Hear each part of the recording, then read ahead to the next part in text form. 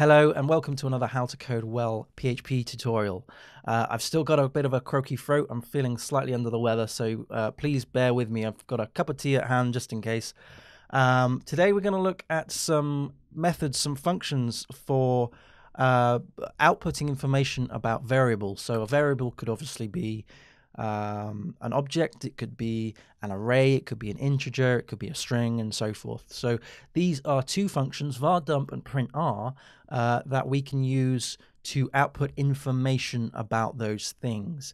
Um, now, I'm trying as much as possible not to use the word debug because if you're coming here to uh, learn how to debug stuff in PHP, then there's um, a, thing, a tool called Xdebug, which I highly recommend you look into over this stuff. Uh, okay, it's this is doing it like this is fine for um, when you're starting out, but seriously, this should never be in production. Okay, uh, I'll get onto that in a little bit more detail later on. But anyway, let's let's just jump into this. So var dump and print underscore r. So what I'm going to do is just do a is equal to, and this is going to be a string, right? So just going to do he uh, and man, and then I'm going to do b is equal to. This is going to be an array, uh, which is going to have name is equal to he man uh, and we're going to do uh, strength uh, is equal to I don't know uh, six maybe uh, and also we're going to do speed is equal to four. Okay so that's the B array and then we're going to do a, another one which is C, and we're going to equal that to an object. So what I'm going to do is just do um, uh, class hero like that. Um, so cl class hero, and we're going to do uh, a, a, a public name and public uh, strength, um, and a public speed, right? Um, and obviously we're going to have a public constructor as well. Public uh, function uh, construct, and we're going to pass in uh, these things. So name, strength, and speed like that. Um, and in here, whoops, not in there, sorry, in here, we're going to do um, this name is equal to name. And this strength is equal to strength. And obviously, so I've talked about classes before. If this isn't making any sense, if you're wondering why I'm typing out this gobbledygook, um, it's an object, it's a class, uh, and um, I mean I've spoken about objects and classes and inheritance and abstraction and all of that stuff before. I'll put a link in the description below. Just bear with me if you if you don't know what what, what all this is. So we've got a class we've got a class here, we've got an array, and we've also got a string. So I'm going to do c is equal to new uh, hero, and we're going to pass in he-man um, we're going to do, what did I have before? Uh, strength is equal to 6. And obviously speed is equal to 4. There we go. Okay, so let's try and output some of this stuff. What we're going to do is we're going to focus on um, var dump first, okay? So var dump, and I'm going to put out the the a, so variable a, because that's the easiest one, because that's just a string. Um, okay, so eh, variable a here is just a string, he-man. So that's going to dump that out. So let's save that. Uh, go in back into the browser and refresh the page and let's see what we've got. Uh, okay, so forget about this stuff. This is this is just the path to the to the code. Uh, but this is the stuff that's really important. Okay, so it's saying on line 23 here, right? Um, which which is correct here, line 23. okay, we are uh, dumping out uh, a string, right? So it's giving us the string, the, the type. So it's giving us the data type. And we're giving, we, we've got the value, he, man, and we've also got the length of six, right? So you can see how useful this is. This is actually uh, investigating the variable, what its value is, what data type it is, where it is, in the, what script it's in, and also the length of the, of the string. Very, very handy if you want to find some information out. Um, maybe you've got a bug and you need to solve that, and you're, you're, you're just trying to wonder what is this variable that's causing the issue. Um, then this is a way of outputting that. Okay, so let's go back to the code and have a look at what happens when we print out something else. So that was a string. Let's do B. So let's do B like so. Save that. Go back to the code. Refresh. And now we're seeing that on line 23 again, because that's where we're dumping it out, we have an array. This array has a size of three because there are three elements in this array, right? The first element is the name, which is a string, and the string is He-Man. So this is exactly the same as we had before, but obviously it's in this in this indexed by name. Um, then the next two are actually integers, right? So these are these aren't strings; they're integers, and the values are six and four. Okay, let's have a look at what happens with the uh, the class. So let's go back to the code. And what we can do is print out, that was uh, uh, B, let's print out C. And what we have here is that on line 23 again, we're printing out or we're dumping out uh, this variable, which is an object, an object of hero, um, we have a, these these uh, class uh, uh, properties, so public public properties. So we have the the visibility scope, uh, name, and all of this stuff we know before. So this is the name, this is the strength, and the speed, and the the integers and the strings. Okay, so let's let's make this a little bit more complicated. What happens if we change this to be change this visibility scope to private, right? So private. Refresh and we should see now that these change to private. Again if we were to do this to protected as well uh, we would get those too. Also what we can do is we can we can play around with b. So b is the array. What happens if we do a nested array right? So let's copy all of this stuff into here. And we do uh, that's that's the first one. Let's uh, indent that a little bit better, and we're going to do another one. Um, and let's uh, there we go. Uh, so we're going to do uh, Wonder Woman, right? And her strength, in my opinion, needs to be eight and her speed, she's pretty damn fast. So let's go six. Uh, I'm going to move that up to, to, to eight two, just so we're on equal equal footing. Um, but uh, Wonder Woman's faster. okay, so I'm just going to change uh, variable C to variable B. Uh, save that. So that's going to print out this uh, this nested array, this multi-dimensional array. Let's save that. Refresh the page, and we can see now that we have an array with the size of two. So this means that there's two elements in this array, which just so happens to be um, nested arrays. So we have uh, one and we have two here. These are the indexes. Um, and so we've got size two, and then we've got the each portion. Now we could even go further than this, right? So, for example, let's uh, declare all of the this this stuff. Let's kill that and put that up here. Um, so C is equal, what happens, right, if we did this? So if we did um, uh, C, and I'm also going to be uh, uh, D as well. I'm just going to declare that. So C and D. So these are two objects, right? So C is that one, and D is this one. So we're going to do uh, Wonder Woman and her strength. Um, we've put these up to eight and that one to six. So what I'm going to do is just change that to D. And can you see that we have, um, uh, again, a size of two because we have two arrays in here, um, but they're objects this time.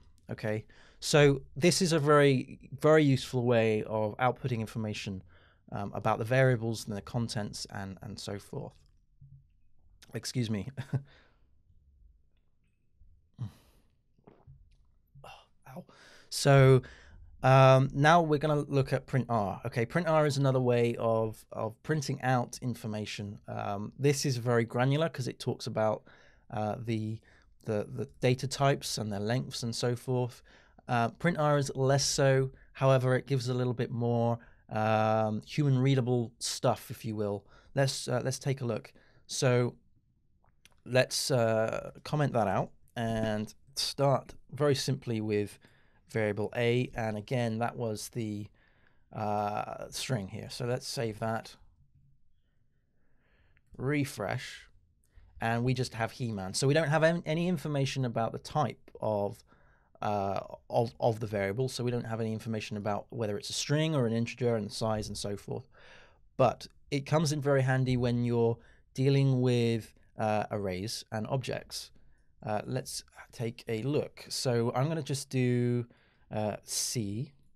So this is going to print out uh, this hero, He-Man hero. Whoops. So here we have the hero object, right? And I suppose here uh, is kind of like an array of, of elements. So this is the property name, this is the class name, and this is the vis visibility scope. And the value of all of that is the value of that property. So strength hero private, speed hero private, and so forth. This can get quite messy. This can get very, very complicated. Let's, uh, I'll, I'll, I'll just show you what I mean by that. Let's go back to here. Let's output D. So, uh, not D, sorry, forgive me. Let's print out B. Uh, so B is going to be that nested array of objects. Let's refresh. And can you see that we, we have an array and the first um, uh, element of this array is the hero object and also the second um, element is also a hero object. This gets very tricky to read when the objects are quite big or the arrays are quite big. So what you can do is actually prettify this. Uh, so we can um, format this before it goes through. So let's do print um, pre. So we're going to uh, pre-format. And uh, we also should do a print and close that off as well, pre so what this is going to do is it's going to format uh, whatever is in between the, the pre-tags here. So this, so it's going to format that. Let's save that, refresh. So, so as you can see, this has uh, changed to be um, a very nice looking array. You can read it very easily um, with the, the, the indexes here, zero and one. Um, it doesn't have any information about the size um, and so forth. But what is very useful uh, with this is, let's say we had, um, I'm just going to, for for argument's sake, let's just create another uh, array here. I'm, I'm just going to call this um, E, and I'm going to do just apples and pears, right? And I'm going to print E out like that. Okay, save, refresh this page. Um, what we what we've got is an actual usable array, right? So I've done this before where I've had to create a script that iterates over thousands and thousands of of tens of thousands, you know, crazy amounts of data um, to produce a, a script that I can run against a database to import inform, you know, uh, uh, values or um, to use it against uh, to output a CSV or something like that, right? So it's very useful for scripting. So you you you write a script that goes through all of the bits and pieces, and then at the end of it, you can do a print to print um, an array that you can use in another script. But but uh, there is um, a caveat, that, a very large caveat that I should say with using var dump and print R like this uh, and that is it should never, ever, ever, ever, ever be exposed um, to the public. So it should never be on production. If you come across either var dump or print r when you're doing a checkout of uh, some code from a, a Git repository or, or whatever, uh, and you come across these two things, var dump and print r, then in my opinion, it's your duty as a developer to flag that up to the owner of the repository and or the development team leader and just say, look, this is something that we need to um, crack down on because just imagine you do a var dump, right? Let's just just do a var dump of B again. So just imagine you're doing a var dump and this goes into production.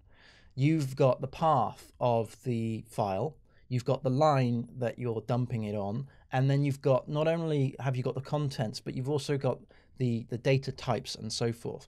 Imagine, if you will, that this someone has, uh, for, for whatever reason, dumped out information about the credentials for accessing the database. Um, and that gets shown to um, to the public by accident because it's been committed in by accident. Um, yeah, it's yeah, it's not good. It's not good. You if you see var dump and print r when you do a, a git checkout of of a branch, um, then you really should be. It's a brown trouser moment. You should go right. Let's let's flag this up now. The quicker it gets flagged up, the the the, the quicker it can get resolved and you know it's not a witch hunt it's not you shouldn't see it as a as an as a personal attack um, the person who did it did it needs to be aware that they can't they shouldn't do it again and the whole development team should be aware that they they shouldn't do it.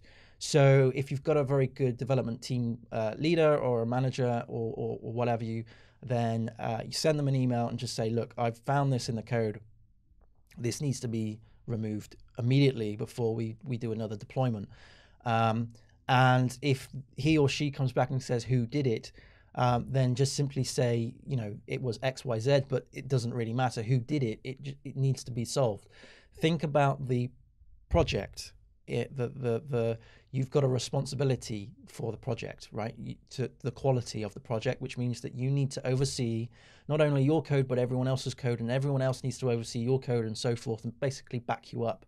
If you spot this in, in, in before it goes to production, if it gets deployed, if it goes through a deployment pipeline, then you need to put the brakes on immediately. So I've seen this before in production, which was so just a heart wrenching moment. Uh, I really felt for the developer. Uh, and I've also accidentally committed this in and then uncommit, you know, re- uh, reverted it after after it. That was a proper brown trouser moment uh, because I didn't know when the thing was going to be deployed because it was going through uh, tests and so forth, and there was other projects that needed to come in as well. Um, but I, I, you know, I held my hand up and I just, you know, um, sorted it out there and then. Um, I think development team leaders, I know this is now moving into a bit of a web chat, but I think development team leaders would be um, a little bit more uh, appreciative if uh, you were responsible and held you up your hand and said, look, I'm really sorry, but I've gone and put this in. I need to revert the code. We need to just put a halt on the deployment for a minute whilst I get this out. Um, and and then that becomes a discussion point to the rest of the team. Maybe there's other people in the team, ju- junior developers, who aren't aware of the risk. var dump is the one that is the bad baddie because it gives you the path of the code, it gives you the line of the code, it gives you some very granular information about the variables and the objects and their and their stuff. Um, and it, re- it really is bad if someone is trying to get into uh, a database, right, and they can't, they can't work out how, their configuration and so they do a, a dump of the, the config um, like this and it gives you the path of where the config file is the file name and all the bits and pieces that that, that are associated to that.